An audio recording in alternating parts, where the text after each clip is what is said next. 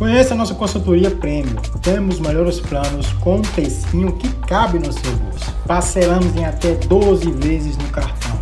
Vem cá, Augusto Trader, link na descrição. Oi pessoal, tudo bem com vocês? Aqui é Reinaldo Augusto Trader e no vídeo de hoje iremos falar como gerir uma banca pequena. Se inscreva no canal, deixa o seu like, ativa o sininho para você sempre ficar atento aqui sobre os vídeos novos aqui do canal. A gente tá bem próximo de bater a meta de mil inscritos.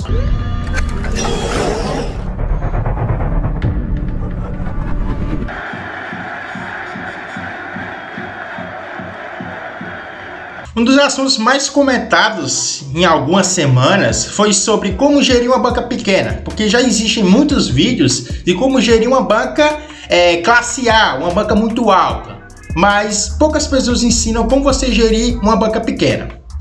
Bom, hoje o vídeo a gente vai ensinar aqui como gerir uma banca pequena, né, para você que inicia no trade esportivo com valores baixos, porque nem todo mundo tem um capital muito alto para iniciar mas sim, é possível iniciar com uma banca pequena e aqui a gente vai te ensinar como fazer isso. Primeiro passo aqui, pessoal, ó, é escolher um valor de banca. Como vocês vão fazer isso? Ó? Escolher um valor de banca é geralmente você pegar um valor, um valor assim, tipo, que você pode gastar. Tipo, vamos supor, você tem 100 reais para tomar uma tomar uma cervejinha tal, sair de casa. Só que você quer embarcar no trade esportivo, você quer entrar no mercado, achou interessante. Então esses 100 reais você vai pegar e investir na sua banca. Porque o valor que você ia gastar com bebida, que é uma coisa bem supérflua por sinal, mas que eu gosto também. Mas se você quer investir, você vai ter que cortar algumas coisas que naquele momento não está cabendo na sua vida. Então, escolher um valor de banca e você escolher um valor que você possa perder.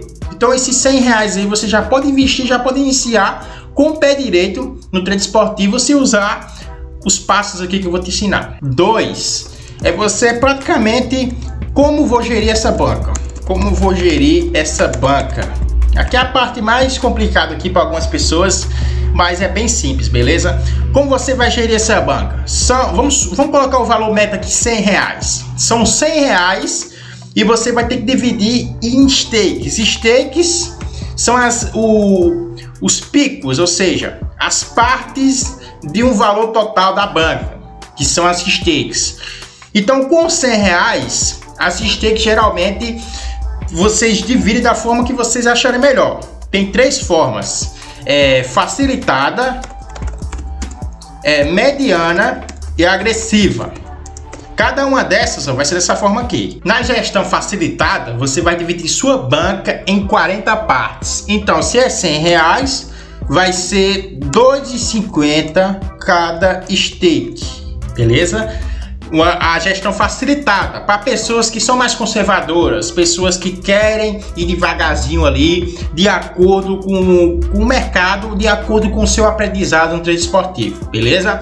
A mediana, você vai dividir sua banca em 20 partes. Em 20 partes seria como? Seria 5 reais, 5 reais cada entrada, beleza? Então, com 5 reais cada entrada. Então, cada nível de stake aqui, você vai ter que ter um intervalo para cada uma delas. Com 40 partes, você pode fazer mais entradas. Com 20 partes, se você tomar um head, você já tem que parar. E com agressiva, não seria diferente. A agressiva seria em 10 partes com esse valor de 100 reais. Então, em 10 partes seria é, 10 reais cada entrada. Então, você fazia a entrada, tal você precisa escolher um mercado lucrativo para você utilizar essas entradas aqui. Um mercado que eu indico muito a vocês é o mercado de escanteios. É um mercado que sempre dá um lucro top para mim, principalmente os escanteios asiáticos inteiros, que você tem um sistema da proteção. E essa forma de fazer gestão de banco aqui pode ser bem aplicada a ela. Então aqui vai de acordo, você vai ter que escolher o, a forma de você gerir esse valor. A agressiva, ela exige um pouco mais de experiência, porque você vai usar a sua banca em 10 partes. Então, a agressiva, eu só indico para você quando você conseguir uma experiência, indico, tá aqui, indico com mais experiência. E não seria, né, é, é, tipo, você vai, vai ficar no mercado, vai fazer suas entradas e você vai aprendendo aos poucos. Então, utilizem essas duas aqui que eu marquei, ó, a facilidade e a mediana. Você pode variar as duas, você não precisa, tipo, usar só uma Vai depender do, do nível de confiança que vocês tiverem no jogo. Se você quiser estar com 2,50 num jogo que você não está tão confiante, Pode ser. E naquele jogo que você tem uma confiança maior, você pode usar a gestão mediana, que também é bem aplicada. Então você pode utilizar as duas ao mesmo tempo. E a agressiva, você vai com mais experiência, que é bem mais indicado para você ter uma concepção de como o mercado funciona. 3. Como aumentar meu capital? Bom, pessoal, com um valor de 100 reais, é basicamente é um valor para você ir aprendendo como funciona o mercado. Ali você pode ganhar 50 centavos de lucro, mas aquilo ali vai fazer uma diferença absurda quando você tiver uma banca maior que o mundo, beleza? Porque para você começar com uma banca gigante, primeiro você tem que começar de baixo. Então, qual a modalidade que eu indico para vocês Inicie com 100 ou 50 reais, tanto faz, beleza? Mas inicie com valor baixo. E assim que o dinheirinho for sobrando ali no mês ou na semana, vocês fazem aportes. O que são aportes? São depósitos de acordo com o nível da sua banca. Qual é o momento certo de fazer aportes? Geralmente é quando você conseguir é, acertos Tipo, vamos supor, você fez um mês, conseguiu um lucrozinho de 3, 4%. Você faz um aporte. Se você terminou o mês em um head, você não faz aportes. Então a banca vai crescendo de acordo com seus meses positivos. Então é esse momento certo para você fazer os aportes, que assim você vai aumentando o capital. Então vem aquela dica, né? Quanto mais dinheiro você tiver, mais a sua gestão de banca vai diminuindo. Então vai chegar um momento aqui que você vai da mediana para facilitada. Você vai ter um valor muito alto nas suas mãos e você vai só usar facilitada, porque a facilitada é, o tipo de gestão que passa uma maior segurança para você. A mediana era é um pouco mais agressiva, né? Vamos supor que era uma semi-agressiva e a agressiva é um valor que praticamente para alavancagens. Ah, essa entrada aqui, né? Esse tipo de gestão agressiva, ela pode ser utilizada em técnicas de alavancagem. A gente tem vídeos aqui no canal sobre técnicas de alavancagem. Vou deixar aqui no card para vocês assistirem.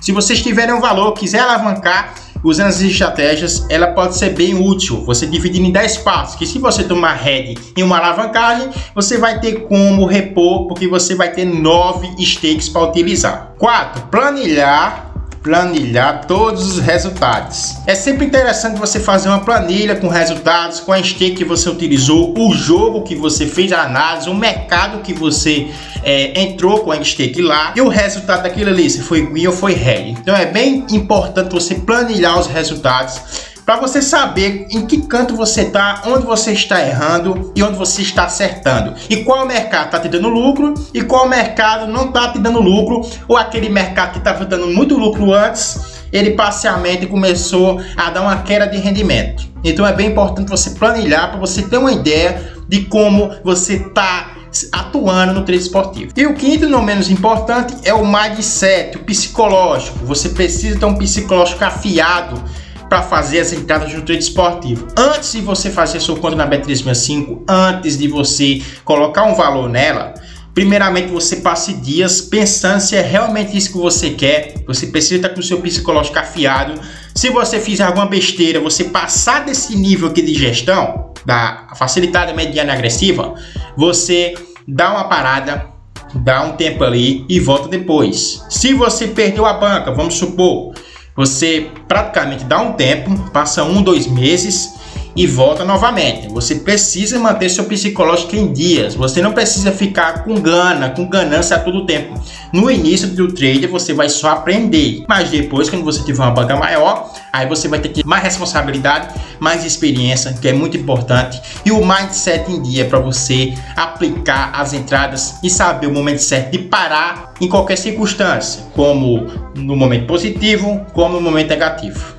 Gostaram do vídeo, pessoal? Deixa um comentário aí se vocês vão utilizar essa gestão de banca. Respondam eu aí nos comentários que eu vou responder todos. Siga os links das nossas redes sociais. Tem um link aqui do Instagram, do Telegram. No Telegram enviamos palpites diariamente de todos os campeonatos do mundo. Valeu, fui!